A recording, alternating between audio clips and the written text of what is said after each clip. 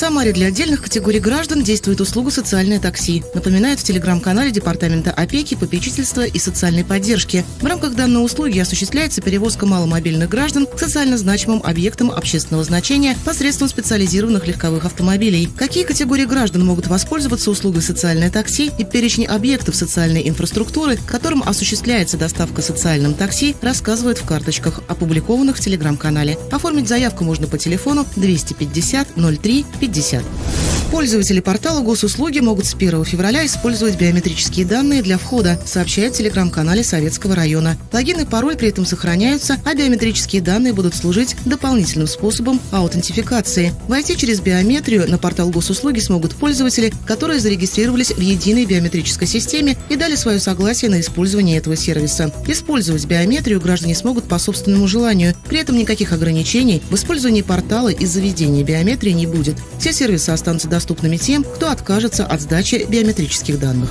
О завершении соревнований городского этапа КС «Баскет» среди общеобразовательных школ Самары пишут в телеграм-канале Ленинского района. На групповом этапе ученики школы 148 одержали две победы в двух матчах. В полуфинале ребята встретились с Куйбышевским районом, школа 74, и одержали победу, а в финале юные баскетболисты в упорной борьбе обыграли промышленный район, школу 45, и стали чемпионами КС «Баскет» дивизиона Самара. Впереди региональный этап.